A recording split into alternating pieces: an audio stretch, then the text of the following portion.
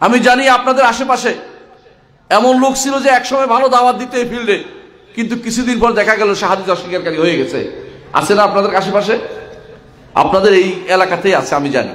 এই এলাকার লোক সে। আমি নাম বলতে চাচ্ছি না এখন।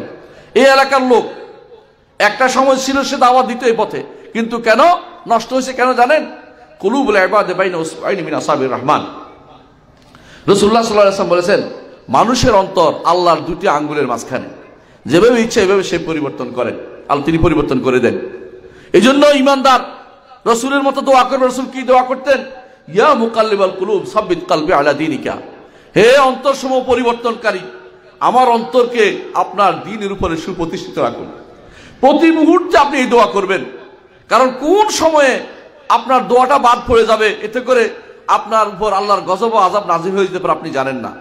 সবসময় দোয়া করতে হবে, আল্লাহ যেন আমার অন্তরটাকে দিনের উপরে সুপ্রতিষ্ঠিত করে রাখে। এরা একসময় বিশাল বিশাল দাঁড়ি হয়, পরবর্তী দেখা যায় মিথ্যা কথা বলে আজে বাজে কথা বলে, অথবা হানাহানি মারামারি করে, রাস্তাঘাটে আগুন লাগিয়ে, ওই আগুন আগুন বোমা নিক্ষেপ করে তারা এরপরে কোথায় যায়? এরপরে তারা পথ থেকে দূরে সরে যায়, সঠিক পথ থেকে দূরে সরে যায়।